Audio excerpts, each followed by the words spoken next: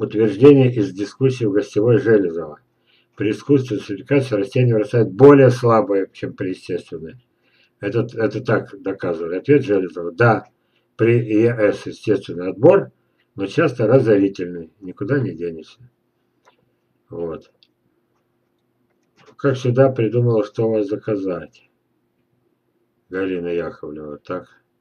Сколько стоит при... Э, сколько...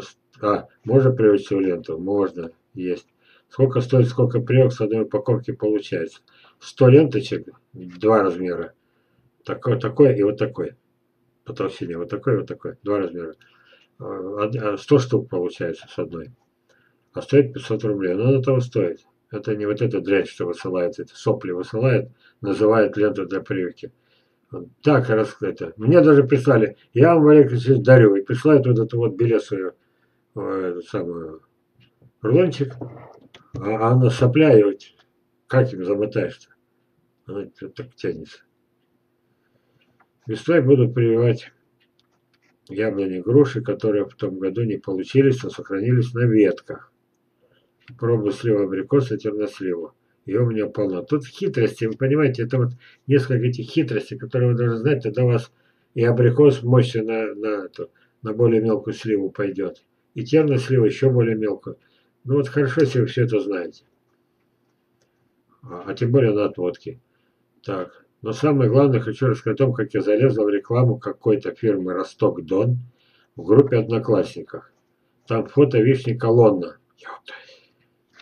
Ни одной колновидной вишни на планете нет. Нарисованную вы выше видели, да? Я показывал. Выдержит минус 38 и начинает плодоносить на следующий год после посадки. Вот. А ягоды аж облеплены. Может, это те самые же. По фото видно, что листья больше похожи на черешню. И ягоды сильно загущены. Я предположила место саженцев около Ростова, то есть юг России. Мороз 38 это смешно. Там не бывает. Но главное, уже люди заказ делают. И Сахалина спрашивают. У нас, конечно, вишни растут, но это уже слишком. Я не утерпела написала, что какая наивность и дали обман. А меня быстренько занесли в черный список. Наверное, чтобы другие не успели прочитать мое резюме об этом. Вот такие дела.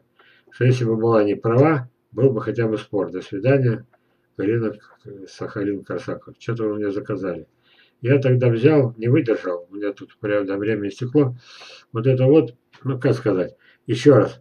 Если вы берете саженцы, вот такая реклама, запоминайте, никогда вот в этом горшочке, это тем более в мягком, мягком, вот, никогда, никогда не вырастет такой саженец. Нужно объем раз в 20 больше.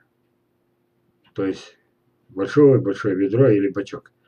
Это было вставлено, вынесено на рынок, не продано, начало расти уже тут. Вот. С искусственным штампом и так далее. А я, знаете, почему я прикололся? Это российский дебилизм написал. Мой друг привозит фото из Индии. Я думаю, ну там-то все растет. Там тоже халтуры хватает, видели? Вот. Ну что еще? Ниже по Райкину. Ох и дурят нашего брата, будто вырастили в этих пакетах. Никогда вот это в пакете не вырастет. Вот. Ну и получается, наше время истекло. Вот.